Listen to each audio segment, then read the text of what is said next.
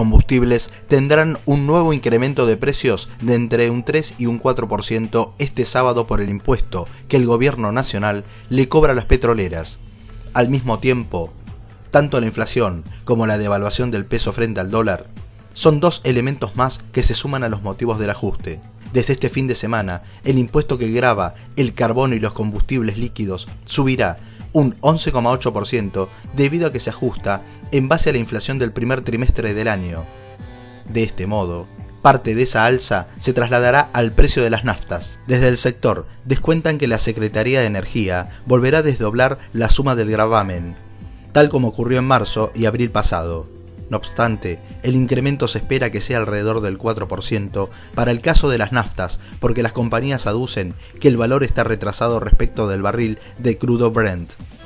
El mismo subió en 5 meses 13,5% en dólares y otro factor es la inflación y la devaluación del dólar frente al peso, por lo que aplicarían un ajuste del 2% que se sumaría a otro 2% del impuesto desdoblado.